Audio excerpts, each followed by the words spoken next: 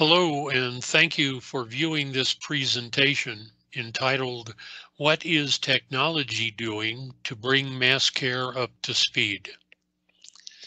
My name is Gary Freeman. I work for the City and County of Denver as the Emergency Manager at our Department of Human Services.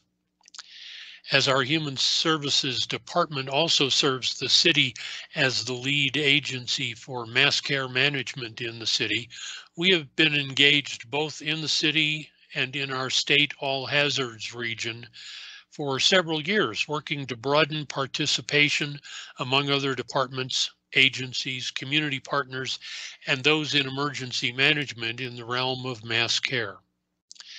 Today, we will look at something very special and quite helpful we've developed in our region to apply state-of-the-art technology to community response to mass care emergencies.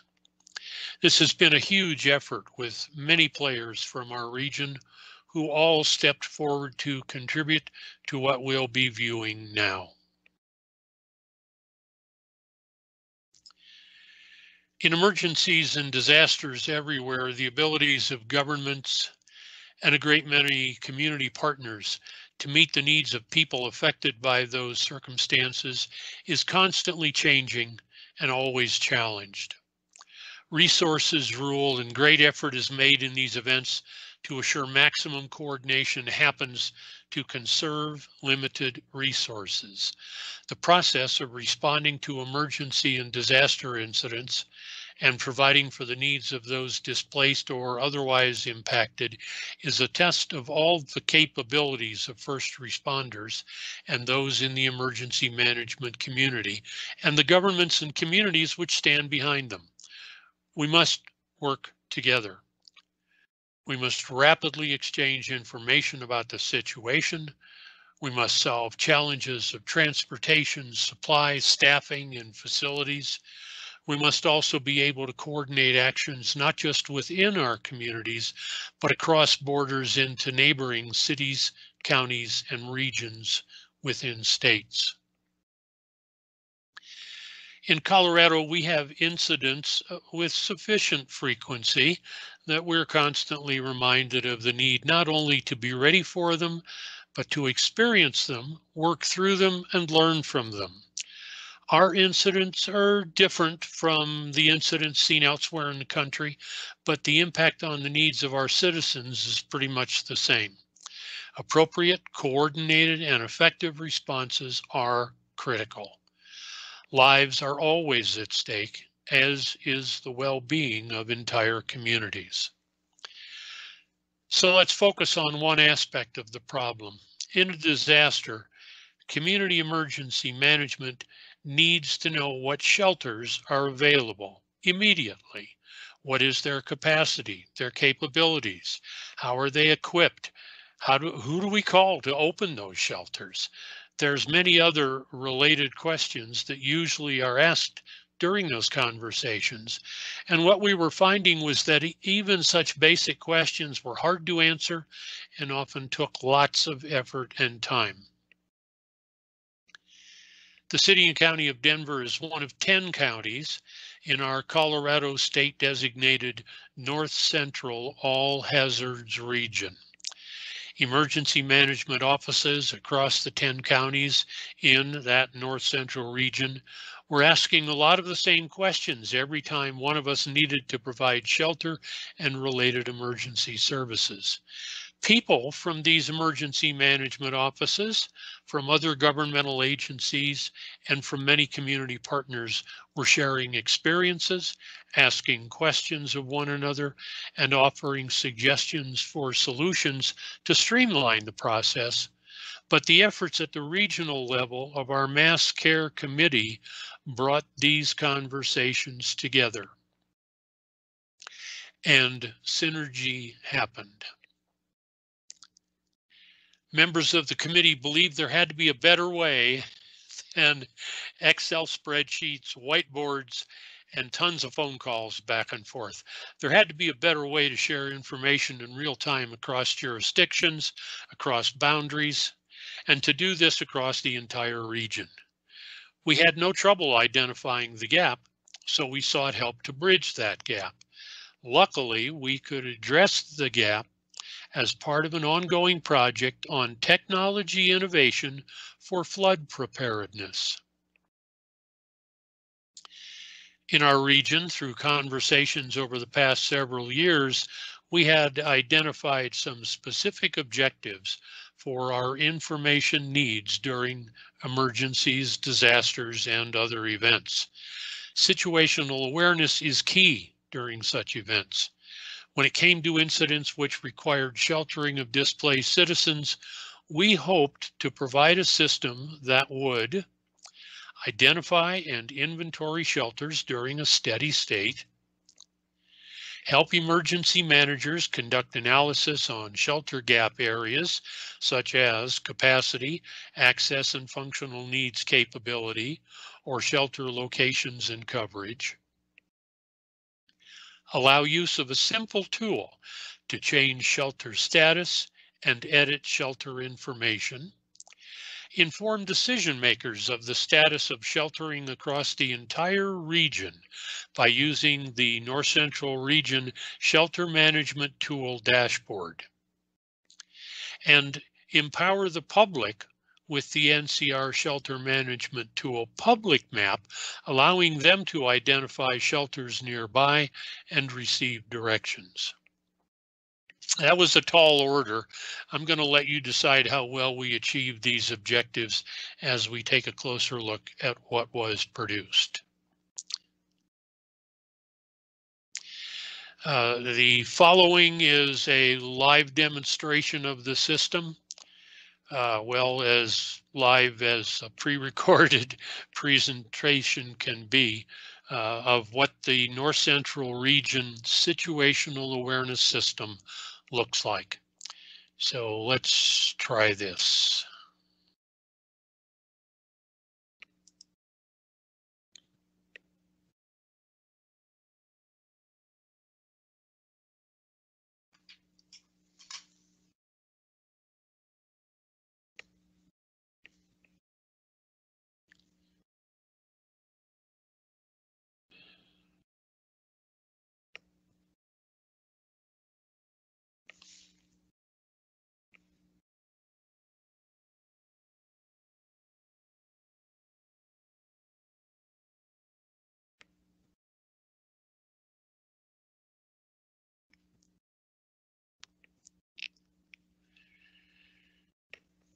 This is the uh, welcoming page, the home page of the uh, the site. And uh, as uh, we have created it, there's uh, a number of items of uh, really useful information. The list of recent system changes, enhancements is in the what's new section. There's some other information about uh, the difference between base data and incident specific data. And I'll be talking about that as we move through and start exposing some of the rest of the content.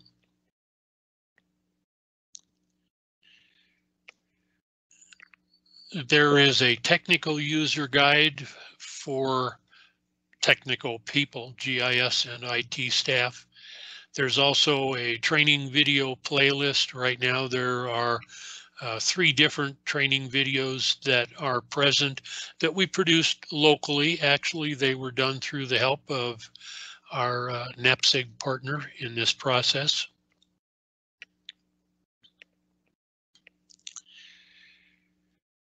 And on the tabs at the top, we're now going to go to the Edit Shelters tab.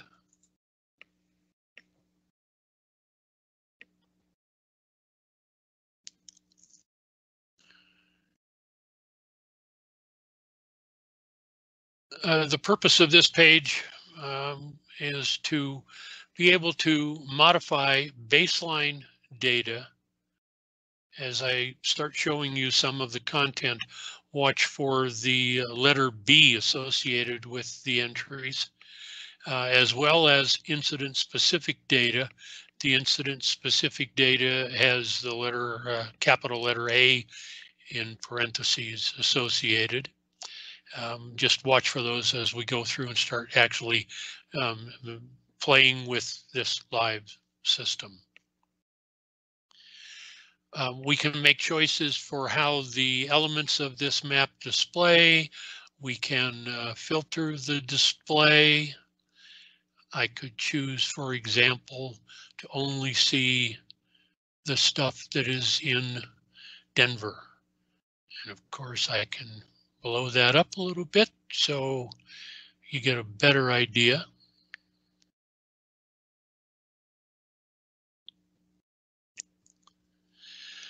Standard navigation tools are up on the upper left side of the screen. Uh, the uh, widgets are on the upper right. And uh, right now I'm going to go into the uh, editor tool to allow us to start making some changes here.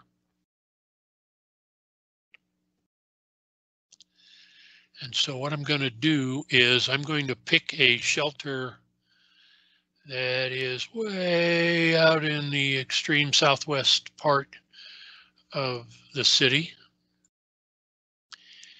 And when I bring up by simply clicking, left clicking on the uh, icon, brings up the basic information.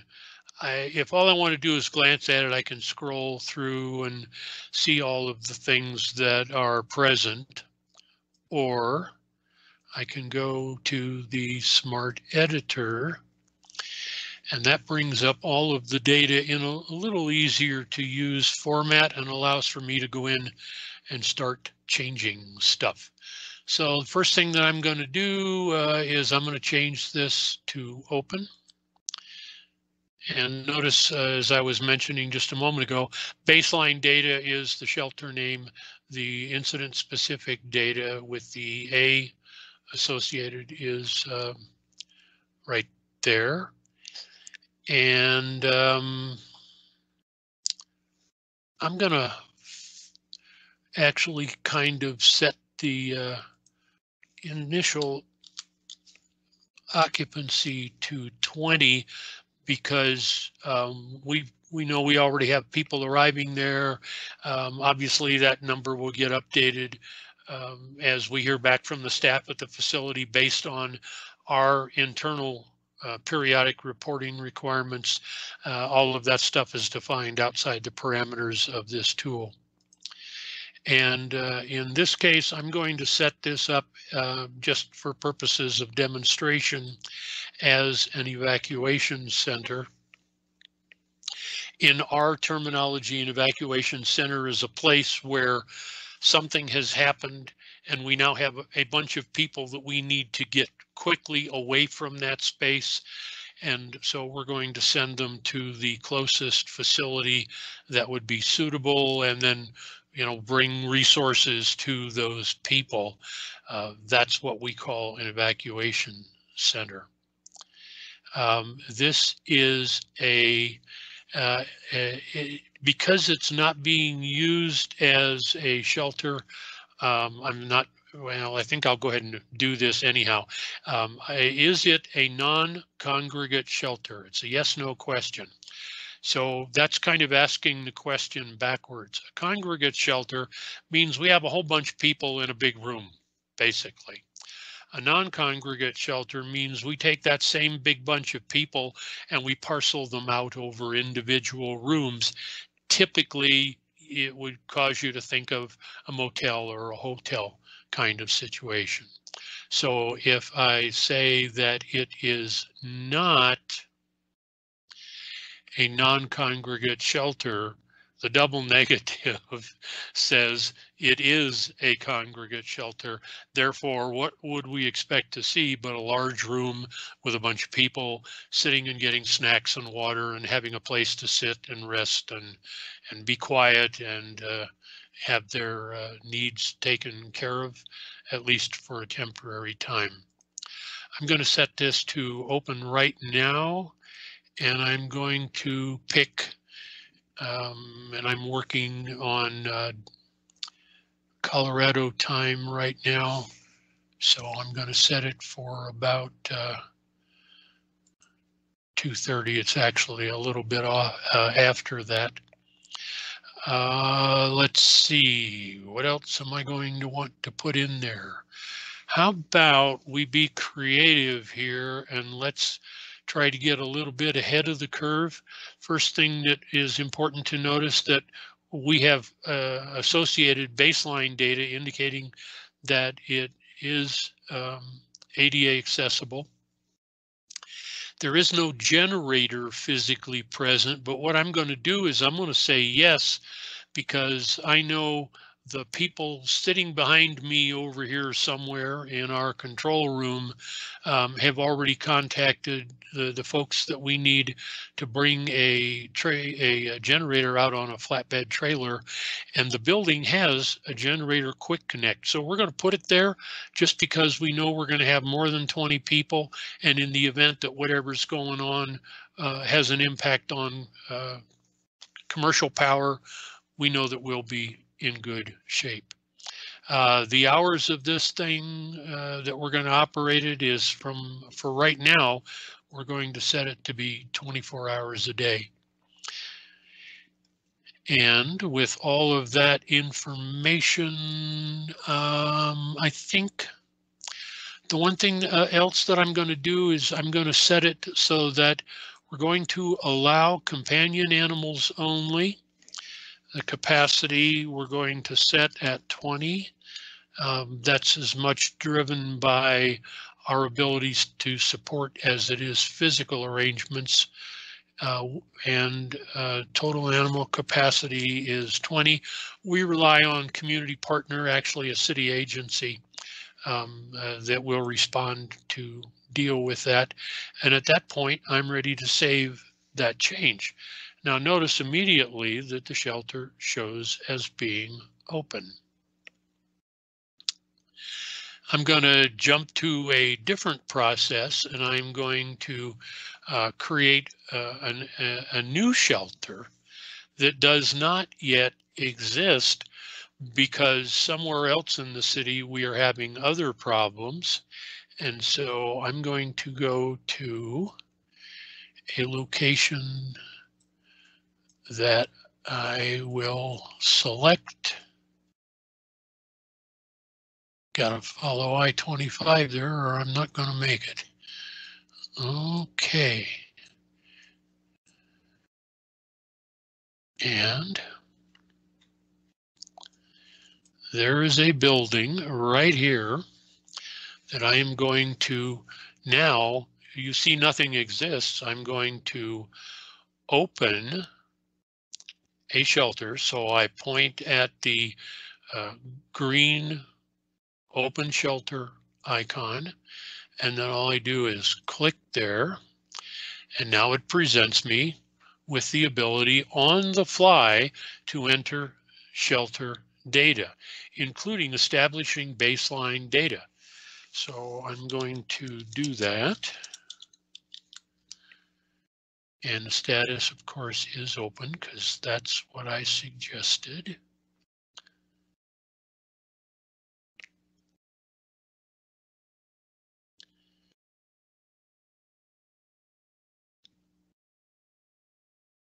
And I'm grabbing a prepared message that will show in the public map that we'll get to in a bit. I'm going to set the occupancy. Well, I'm going to set the bed availability at 85 because that's how many rooms we've leased from this. It's really honest to goodness a hotel. Um, and I'm going to peg the current occupancy at 40 again because we've made arrangement to transport some people over there. So we know that they're coming. We just might as well account for them. And then the same proviso, as I said before, that'll get changed later as we have our periodic required reporting times being satisfied. I'm going to set this as a short-term shelter and it is a non-congregate shelter, meaning that we would expect the people to go there to be assigned to individual rooms. The open date, again, I'm going to set today, The open time I'm going to again set about the same time today.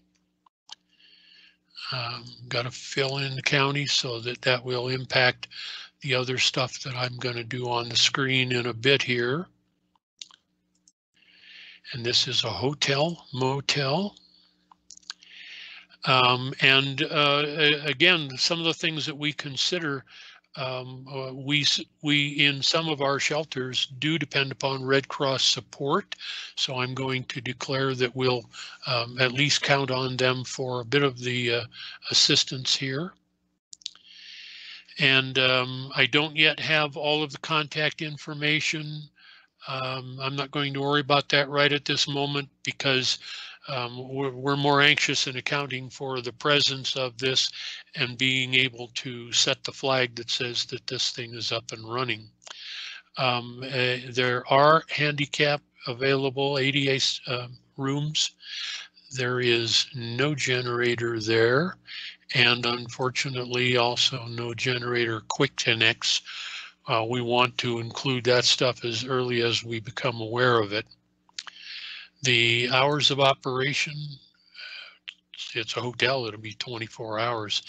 And because we have 85 rooms, the allowed pets count is going to be 85 because we know that this facility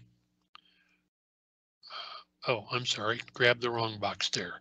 Yes, companions, animals only, and 85 because um, we know that the that the hotel will allow at least one animal per room. And the total animal capacity and I'm going to save that.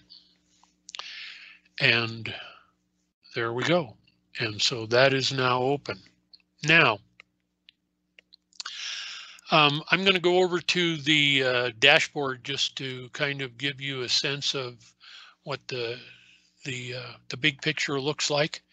It'll take a moment for this to refresh.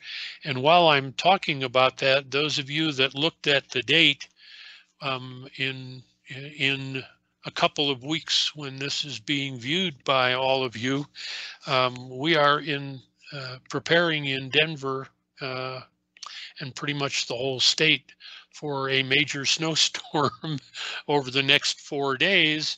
And so lo and behold, I looked at this before I started making the recording and discovered, uh-oh, somebody's already got a shelter out here on standby.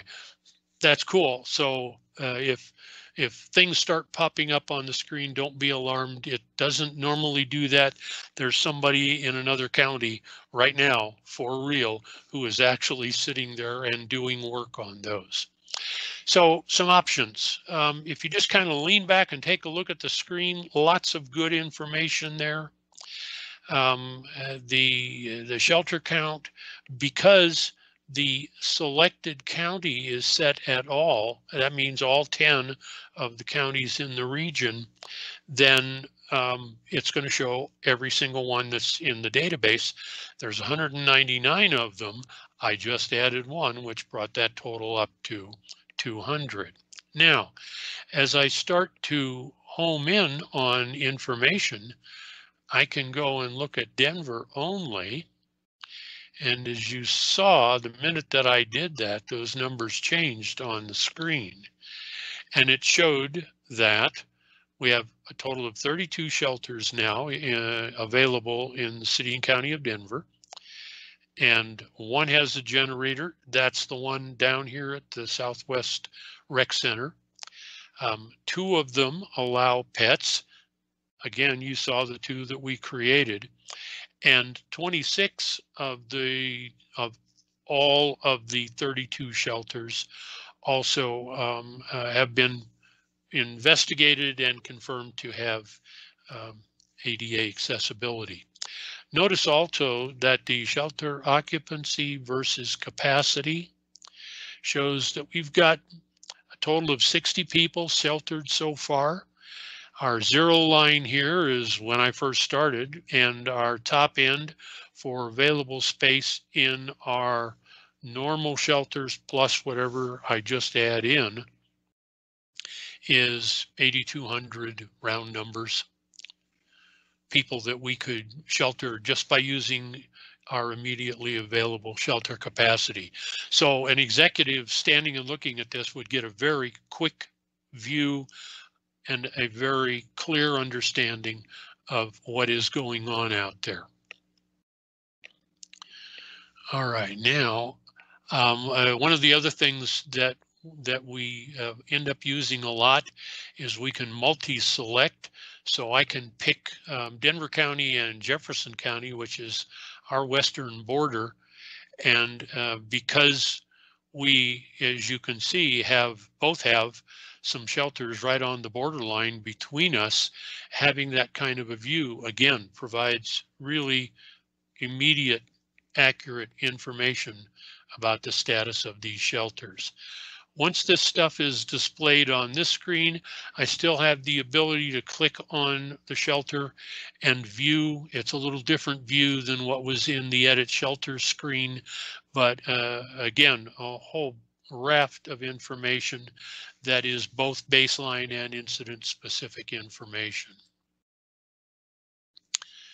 All right, now um, oh, and the other thing that I want to show you is I can show you only open shelters.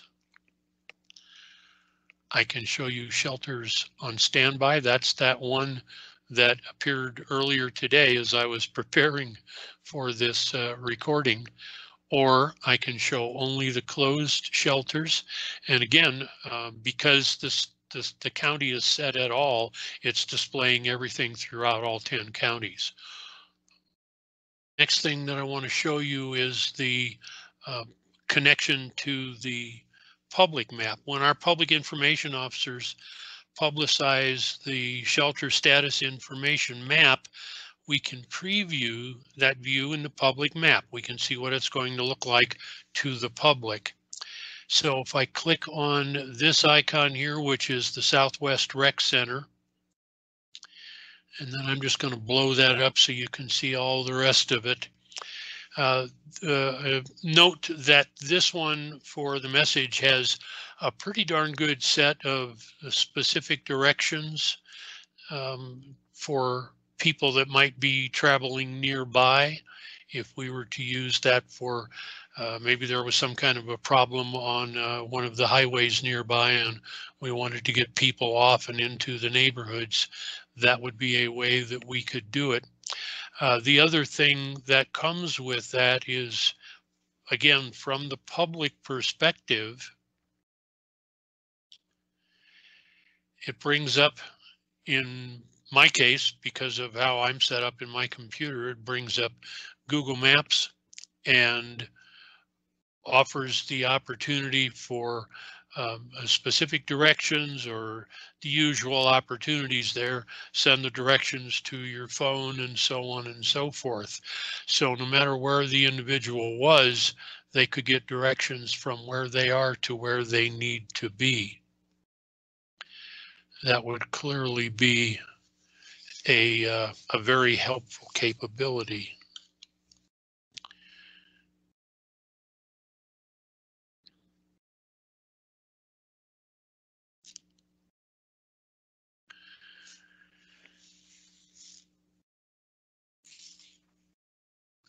So that concludes our demonstration. Uh, we want to thank you for viewing this presentation. We hope you've picked up some ideas or tips and tricks from our application that will make your mass care emergency responses smoother, faster, and more accurate. Thank you.